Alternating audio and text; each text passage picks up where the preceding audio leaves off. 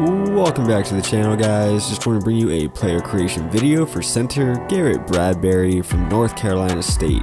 Garrett was drafted in the first round of the 2019 NFL Draft by the Minnesota Vikings.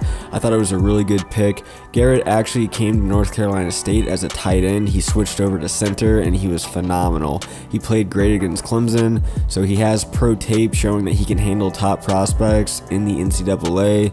Uh, his hands are really good. He's super athletic. He put up a ton of reps on the bench press at the NFL Combine and he just tested really, really well. On tape, you can see he gets his hands out, he maintains his blocks, and he's good in the run and pass game.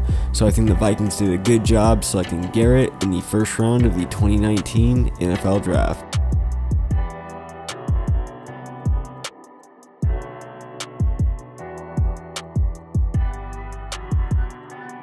Thanks for checking out my video guys. If you enjoy my content, please hit the subscribe button. Also, check out my draft class on the PlayStation Network if you want all of my prospects. You can go ahead and download it. My username is GLA Plays, all caps. Also, be on the lookout for more of my videos. I'm going to be doing Andre Dillard today and Darnell Savage, and I'm going to be doing a couple more prospects tomorrow. And then I'm planning on doing gameplay on Monday, but I'll keep doing more prospects because I know you guys like them. Hope you guys have an amazing day. Peace.